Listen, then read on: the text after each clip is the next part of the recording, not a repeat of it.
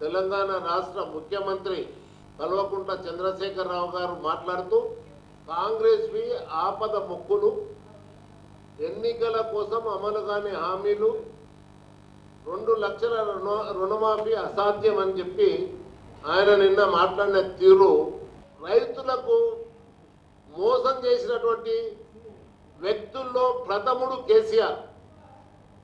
లక్ష రూపాయలు రుణమాఫీ అన్నాడు. ఆ లక్ష రూపాయల రుణమాఫీ రైతులకు ఏ విధంగా ఉపశమ అంటే ఉపయోగపడలేదు? ఏ విధంగా ఉపశమనం కలగలేదు? వాళ్ళు మరింత సంక్షోభంలో కూరుకుపోయే విధంగా ఆయన రుణమాఫీ చేసిన తీరుంది.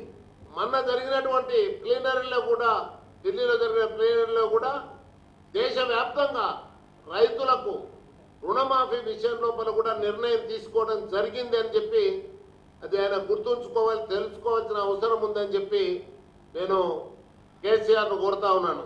నీవు మొన్న పోయిన ఖరీఫ్ కంటే అంతకుముందు ఖరీఫ్లో